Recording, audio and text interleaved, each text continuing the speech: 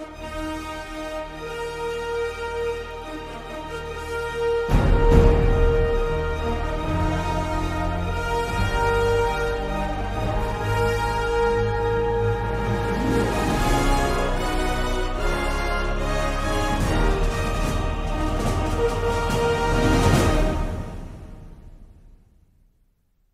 guys, today we're gonna be killing Kermit. We have five ways to kill Kermit. Let's head to step one. So this is step one.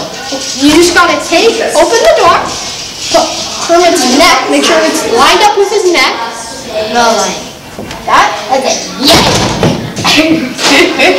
He's very dead. Now you, uh, it's hard to open the door afterwards. Oh my god, you killed him! You killed him for real! It's step one! How could you do this? Oh, cut! Oh. You're alright, buddy, right? I, I don't care.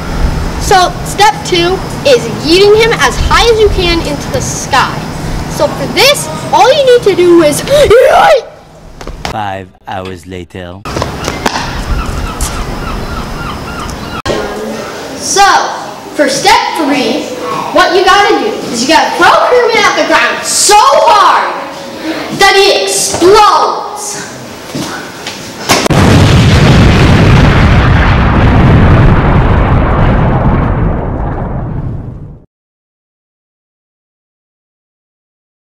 So, Kermit, you ready for the fourth way to kill you? No. Well, I don't care. So, we're just gonna open the door. Here, take his arms. Put them. Yep. Okay. There. Now close the door on his arm. Then take take his legs right here. Open the other door.